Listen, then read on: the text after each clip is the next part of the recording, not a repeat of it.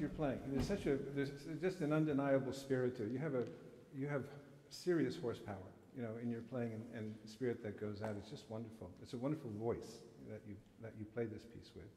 You know, if you went to the Allemande, of course, you might find a, di- a different voice. You know, saying a more intimate voice, perhaps. But I think it's just right for this movement. It's really good.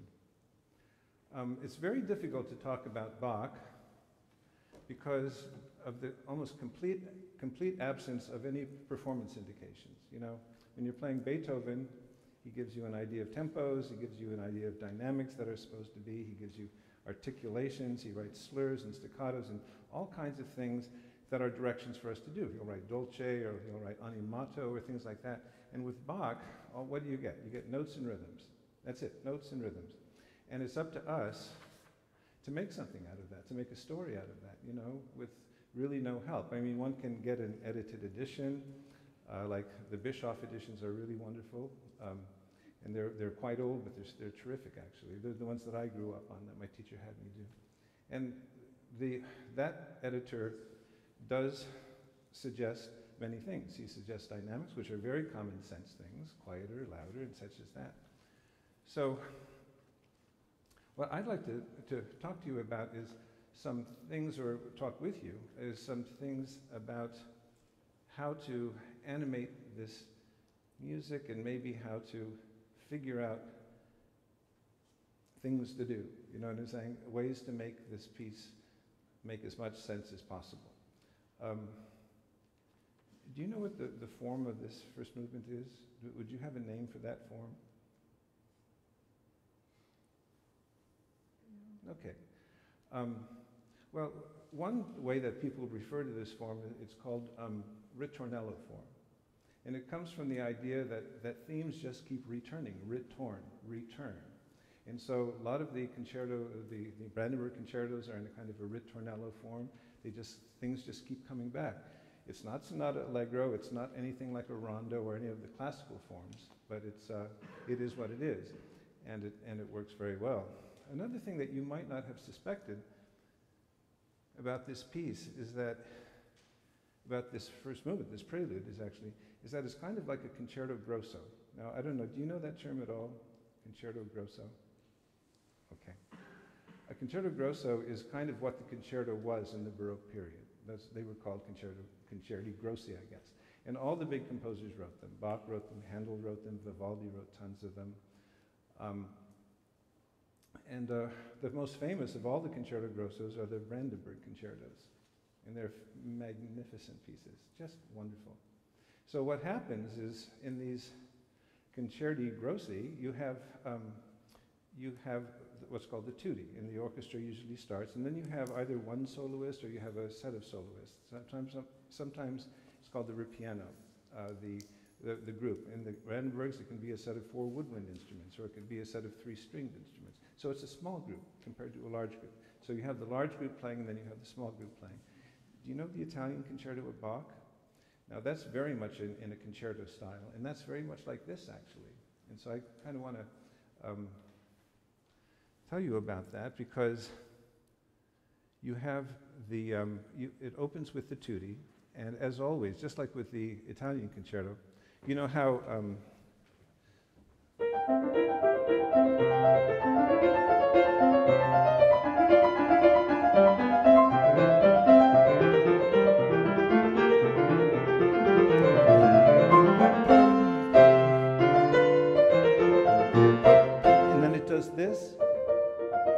soloist. That's the soloist. So he's actually, it's a kind of, it's a fake concerto because there's no orchestra at all the one and the same person is playing it. But for the orchestra parts, he writes forte, and for the soloist, he writes piano.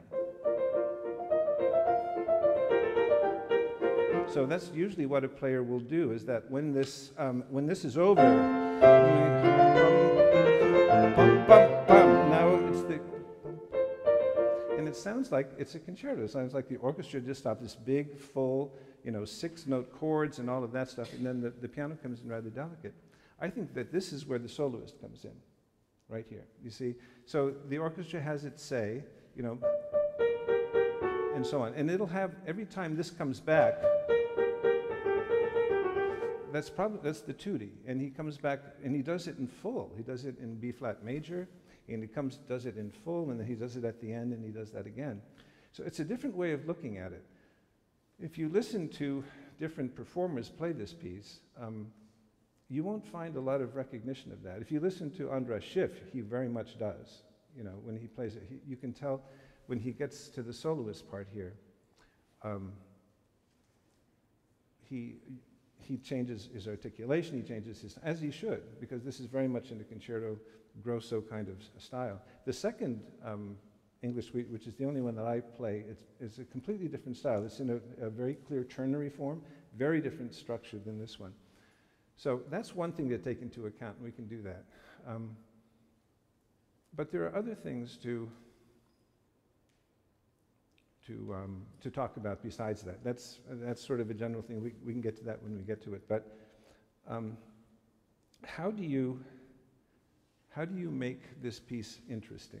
How do you make it interesting? Because as far as we know, uh, and you do, um, you do a lot of things, but I think that there's more that you could do. So let me ask you, what are the, if you had a friend who was learning a, uh, one of the English suites or something like that, and they say, um, you know, Claire, you've just played a, uh, an English suite. I don't quite know what to do. I'm just looking at this blank, you know, just notes and rhythms. I, I don't know how to shape this music and so on. What, what would, might you have to suggest to them?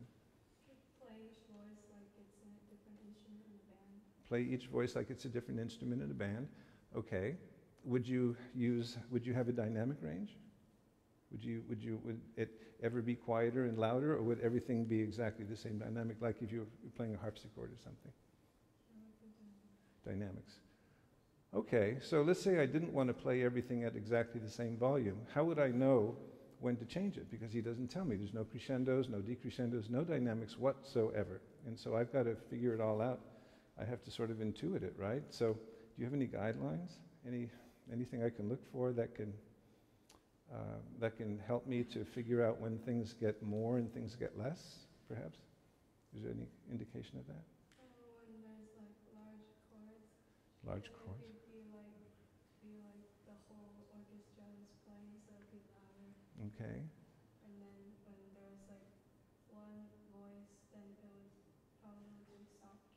there was one voice, it would be softer. So the more voices, the more, fill, more, the more full the texture, you would say that, that would indicate more volume, right?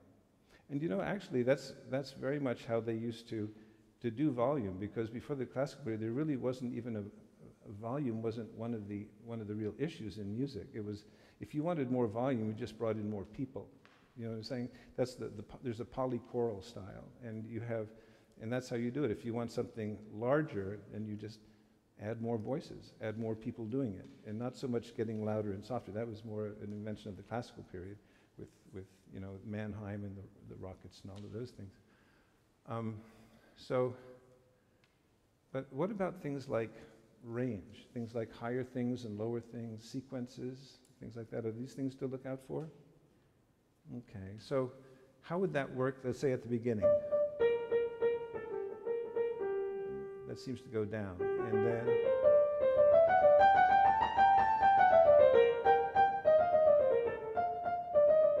That's a descending sequence, right?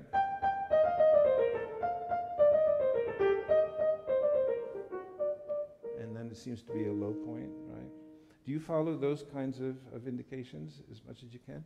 Okay. Can you try it once again from the beginning? Um, let's we we are just going to work on the tutti here for, to, to begin with, which I don't have measured numbers, but it's like the first 30 measures or so.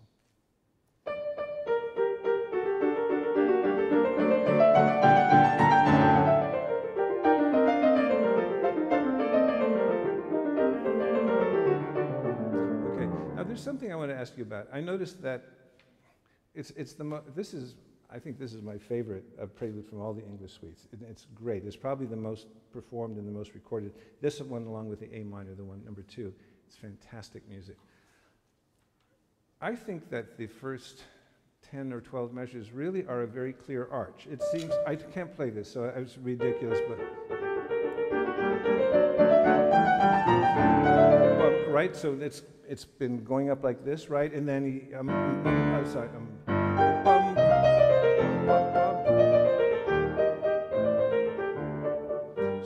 it seems to me you've, you're, you're very strong in getting to the high point, meaning here. And then you do this. Then you break it. In other words, just when it's going over the top and it's looking for the right side of the arc, it collapses, it seems to me. Um, um, bum, bum, bum, bum, bum, bum. So the right half of the arch seems to, I, I don't, not sure that, do you understand what I'm saying about that? Maybe can you continue it? Can you keep the strength? Bum, bum, bum, and then, and then it's a really beautiful symmetrical arch. Try it once again then. Try it once. Now, of course, this is this is less, right? You're at the foot of the mountain here, right? Because you're not you haven't started the climb, right?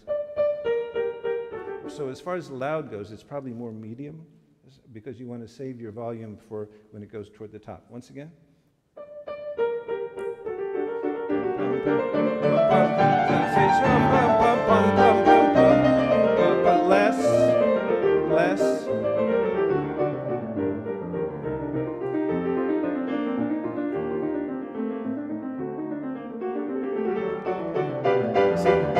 Now, now uh, this you're already very loud. What are you going to do here? And what are you going to do here? So I'm not sure that's so that's great planning actually. So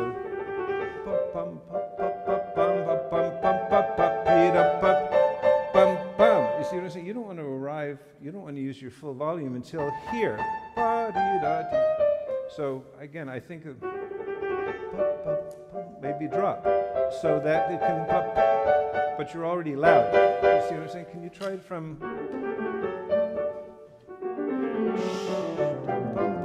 One more. One more. Bum, bum, bum. Okay, now, of course, the orchestra, if this were the end of the piece, if this were actually the end, and actually the end is exactly like this, isn't it? you know what? You, you brought a, um, a, a copy of this, and rather than hop up and switch music and stuff, maybe why don't we do that? Um, how do you how do you finish this piece? Can you just uh, play just the last I don't know half dozen measures or so? Maybe from from the high A there. Go ahead.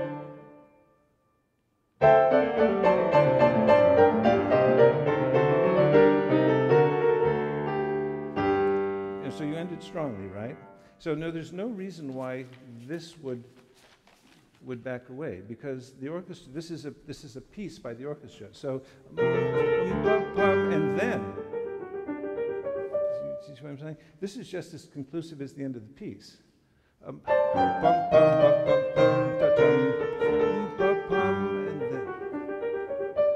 so so can you try it once again and try to go all the way to the end? You don't need to do any more than that. Just right to the end to there. How about um, from there? Go ahead. Yes, that's anywhere.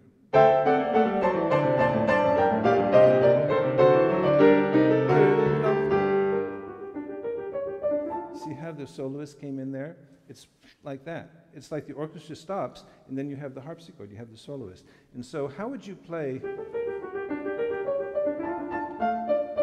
So, when the soloist is playing like he's going to play for the next 25 measures or so, it has to sound like a different instrument. A different instrument. It's not the same as this. Uh, this is strings, this is, uh, this is large ensemble of strings, maybe 16, 20 people, right? And then, then the harpsichord plays. So how would you play this more like a, single harpsichord? is. How would you do that? Can you find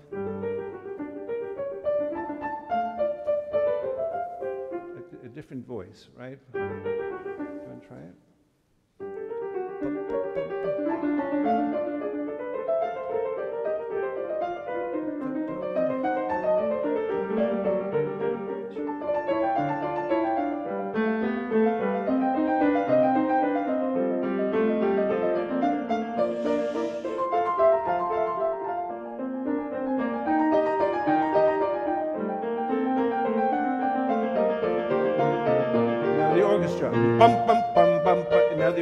Comes back in, you see, with its tutti.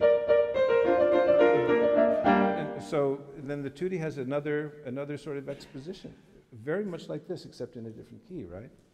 So that's something to consider, that this really is a kind of a patchwork. And, and Bach is free to do it. It's a prelude, it's a, it's a free form. He can do it any way he wants. He could write, a, a prelude isn't, isn't a genre.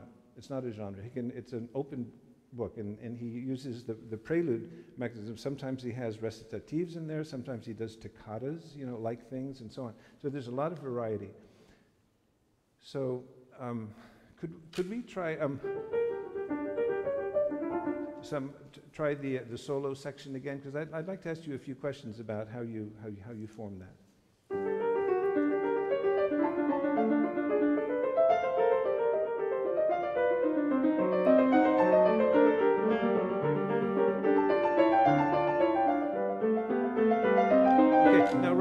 Have a sequence right there, right? So that um,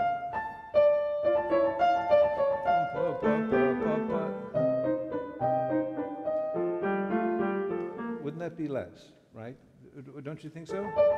Those four measures are less. And also something really important is happening right there. Do you have any idea what it is? He's modulating into the next major section of the piece, B flat major. It's a big deal, actually. He's leaving G minor uh, and he's going to the relative major. And this is how he creates his form, that he creates it by, not by adding themes and by having B themes and things like that, because it's a ritornello form. They- They'll keep coming back, but he does it by changing keys. And B flat major, if you knew that the piece was modulating, and this entire tutti here, this entire section of the piece is in B flat major, and it feels quite different than the, than the, the opening in G minor, doesn't it? How so? How do you think it? That's very subjective, of course. You might, there are people who might say, I, I, don't, I don't see any substantial change at all, and they're just as valid, they just don't see it. It's like chocolate, you know what I'm saying? So, you know, I, I don't get it, you know. But you, you do sense a difference here, right? What, what so? How so? How does the B flat major feel? Brighter. And so, how would you, sunnier, maybe? Not quite so severe, not quite so dramatic, maybe? A little bit lighter hand, maybe? So, how would you express that? You only, you only have your fingers. So, how would you, how would, how would you make the piano sound differently there in B flat major? So would you, you would, you say brighter, but what does that actually mean? People might not know. What do you mean brighter? That's, that's like a metaphor, right? You know, so how do you, how do you do that? More open sound. Maybe you change the balances, maybe the, the, the, the um, little bit less left hand, maybe? You see what I'm saying? Something. So can we try from, um, you see what I'm saying? Um, try from there because we're about to leave. Um, it's right here at the bottom of the page. Less, less. Now B flat major.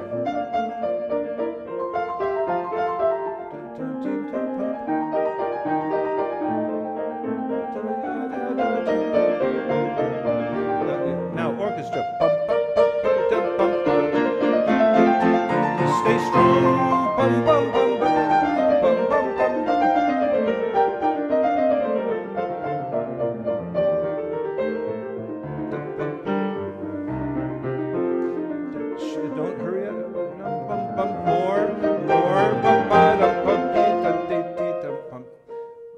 Ahead, if you would. Uh, We're about to finish this tutti in B flat major.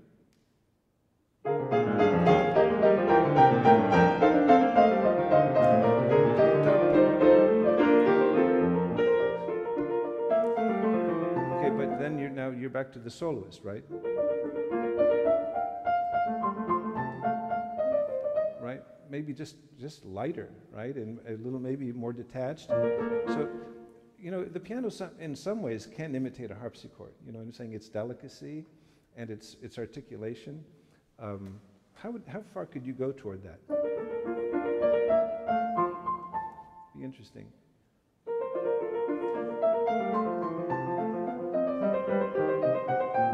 Okay. Now I see here that that there's a there's what's called uh, imitation here. So what, for instance, the right hand goes, and then, and then, and then, you see what I'm saying? Or vice versa. You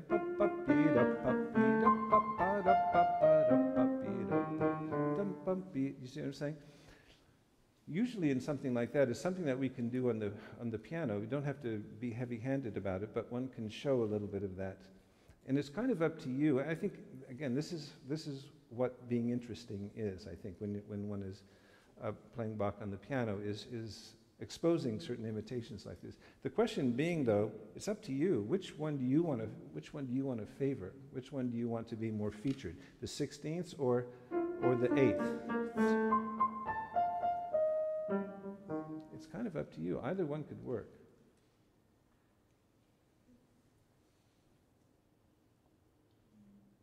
Do you want to try both of them?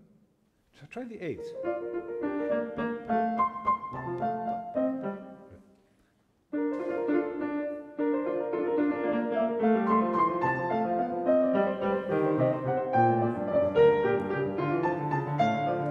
So what, so what do you think? Do you want to try the 16th? Let's try the, the opposite and see how, how that works.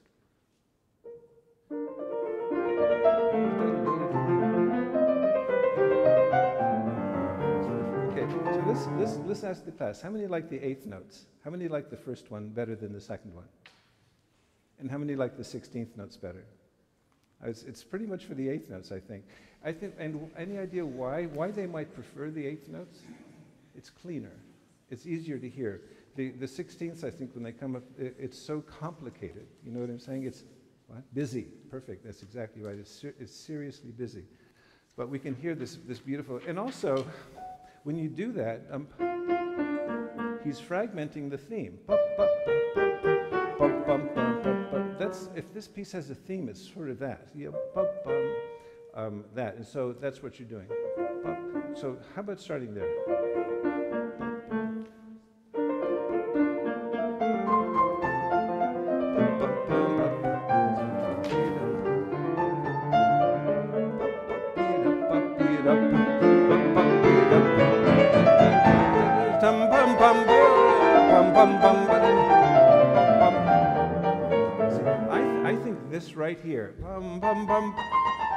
I think that's the high point of the whole movement. It just makes me crazy. It's so intense, and it's been building up to that.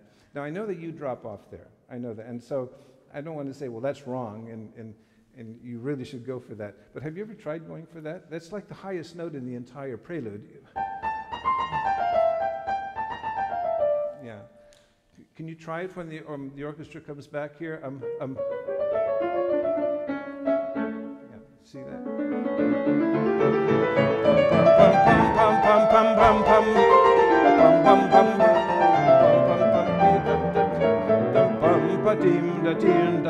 Again, being the tutti, it has, and then see, you can't. What you're doing if you if you drop down like this, you go you're anticipating. You're anticipating the soloist, and you're kind of getting small. But the tutti wouldn't do that. Uh, it's, it's a strong cadence, right? And then, and then comes in that little harpsichord again. Can you try that? Try that cadence there. Right there. And then, then going ahead. Less.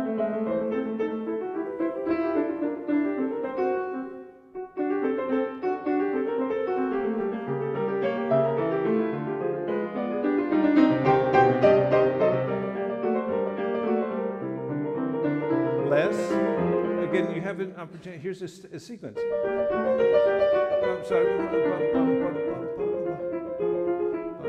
So you're saying there again. There's an opportunity to to make a change right there. Right there. See what that is? Oh.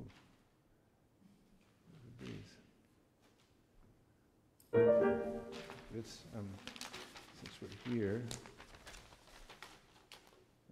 that'll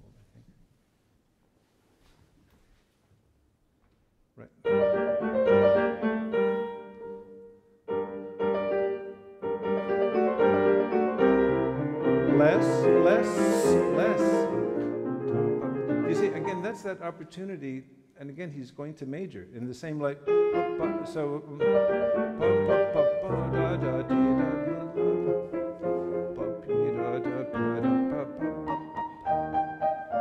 you see what I'm saying? There's an opportunity to, to lighten things a little bit. Can you try it once? Less. Less.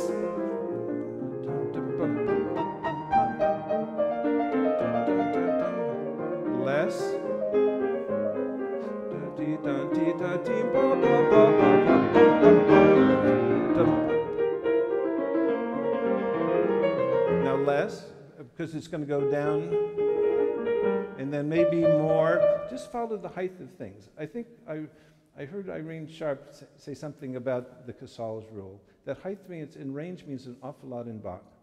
Means a lot.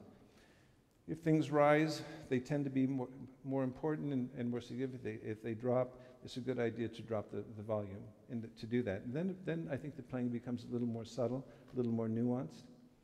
So let's go ahead and finish the piece. Um, from there, that's going to be some. Less. More. It's coming down. By the way, what, is, what do you think is the significance of these? That's the dominant, right? He's preparing the return of G minor. Yum, bum, bum, bum, bum. It's amazing. Uh, how about right there? Um, right, you see what that?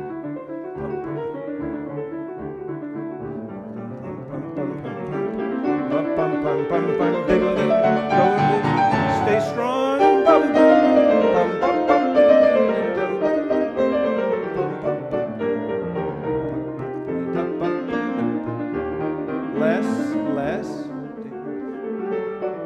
Save it, save it,